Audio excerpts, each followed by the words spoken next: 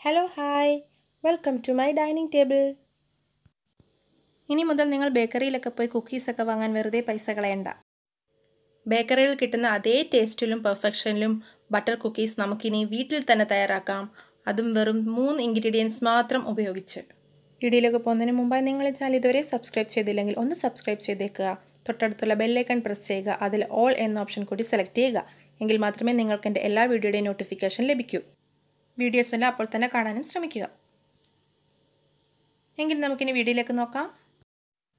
ആദ്യം തന്നെ റൂം ടെമ്പറേച്ചറിലുള്ള നൂറ് ഗ്രാം ബട്ടർ ഒരു ബൗളിലേക്ക് ഇട്ട് കൊടുക്കുക.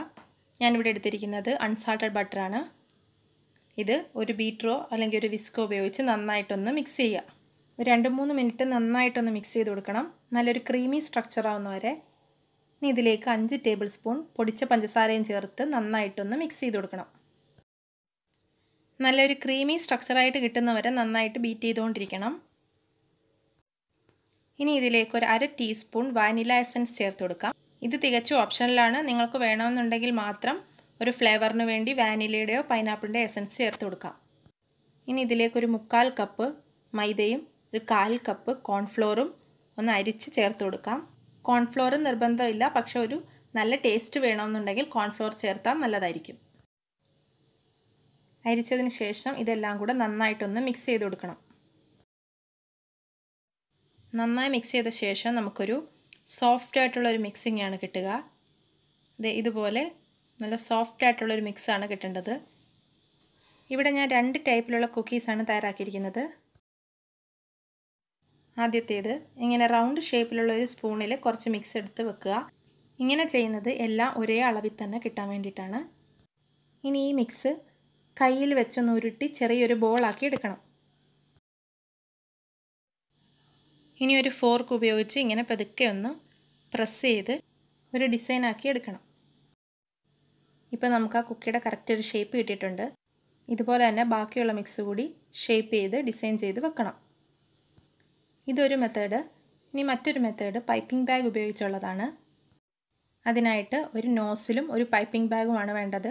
ഞാനിവിടെ ഒരു പൈപ്പിംഗ് ബാഗ് എടുത്തിട്ട് അതിൽ നോസിലിട്ട് അതിലേക്ക് ഈ മിക്സും ചേർത്ത് കൊടുത്ത് പൈപ്പിംഗ് ബാഗ് ഉപയോഗിച്ച് കുക്കീസ് ഡിസൈൻ ചെയ്തെടുക്കാം. പൈപ്പിംഗ് ബാഗ് ഇവിടെ റെഡി ആയിട്ടുണ്ട്. ഇനി ഒരു മോൾഡിലോ ബേക്കിംഗ് ട്രേയിലോ കുറച്ച് ബട്ടർ തടകിയ ശേഷം ഇതൊന്ന് പൈപ്പിംഗ് ചെയ്തെടുക്കാം. ഞാനിവിടെ ഒരു ഫ്ലവർ നോസിൽ വെച്ചിട്ട് ഒരു ഫ്ലവറിന്റെ ഷേപ്പിലാണ് എല്ലാം ഡിസൈൻ ചെയ്തിരിക്കുന്നത്.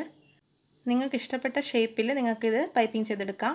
ഇനി ഇതിന്റെ മുകളിലായിട്ട് ചോക്ലേറ്റ് ചിപ്സ് വെച്ച് ഡെക്കറേറ്റ് ചെയ്ത് കൊടുക്കാം. ഇനിയിപ്പോൾ ചോക്ലേറ്റ് ചിപ്സ് ഇല്ലെന്നുണ്ടെങ്കിൽ ചോക്ലേറ്റിന്റെ ബിസ്ക്കറ്റ് ചെറുതായിട്ട് കട്ട് ചെയ്ത് വെച്ച് കൊടുത്താലും മതിയാകും. ഇതുപോലെ തന്നെ നമ്മൾ ആദ്യം തയ്യാറാക്കിയ കുക്കീസും ഒരു മോൾഡിൽ വെച്ച ശേഷം നമുക്കിത് രണ്ടും ഒന്ന് ബേക്ക് ചെയ്തെടുക്കാം. സ്റ്റൗവിൽ വെച്ച് ബേക്ക് ചെയ്യാനായിട്ട് നമ്മൾ ആദ്യം ഈ പാൻ ഒന്ന് പ്രീഹീറ്റ് ചെയ്യണം. അതിനായിട്ട് അഞ്ച് മിനിറ്റ് ഹൈ ഫ്ലെയിമിൽ ഒന്ന് അടച്ചു വെക്കണം. അതിനുശേഷം കുക്കീസ് വെച്ച് അടച്ചു വെച്ച് ഇരുപത് മിനിറ്റ് ലോ ഫ്ലെയിമിൽ ബേക്ക് ചെയ്തെടുക്കാം. ഇരുപത് മിനിറ്റിന് ശേഷം നിങ്ങൾ തുറന്ന് ഈ മോൾഡ് മാറ്റി വെക്കണം. എന്നിട്ട് ഇത് റൂം ടെമ്പറേച്ചറിലിരുന്ന് ഒരു പതിനഞ്ച് മിനിറ്റ് തണുത്തതിന് ശേഷം മാത്രം യൂസ് ചെയ്യാം. ഇതേപോലെ തന്നെ നമ്മൾ പൈപ്പിംഗ് ചെയ്തെടുത്ത കുക്കീസും ബേക്ക് ചെയ്തെടുക്കാം. നമ്മൾ ഇരുപത് മിനിറ്റിന് ശേഷം തുറന്നിട്ട് കുക്കീസും തൊട്ട് നോക്കുമ്പോൾ വെന്തിട്ടില്ല എന്ന് തോന്നും. പക്ഷെ നമ്മളിത് മാറ്റി വെച്ച് ഒരു പതിനഞ്ച് ഇരുപത് മിനിറ്റിന് ശേഷം മാത്രമേ കറക്റ്റായിട്ട് സെറ്റ് ആവത്തുള്ളൂ. അതുകൊണ്ട് നിങ്ങളത് വെന്തിട്ടില്ലെന്ന് വിചാരിച്ച് കൂടുതൽ നേരം ബേക്ക് ചെയ്താൽ ചിലപ്പോൾ കരിഞ്ഞു പോകും അപ്പം നമ്മുടെ കുക്കീസ് ഇവിടെ റെഡി ആയിട്ടുണ്ട്. നല്ല ക്രിസ്പി ആയിട്ടാണ് കിട്ടിയിരിക്കുന്നത്. എളുപ്പത്തിൽ തയ്യാറാക്കാൻ പറ്റുന്ന ഒരു റെസിപ്പിയാണ് എല്ലാവരും ഒന്ന് ട്രൈ ചെയ്ത് നോക്കുക. അപ്പോൾ ഇന്നത്തെ വീഡിയോ എല്ലാവർക്കും ഇഷ്ടപ്പെട്ടെന്ന് വിശ്വസിക്കുന്നു.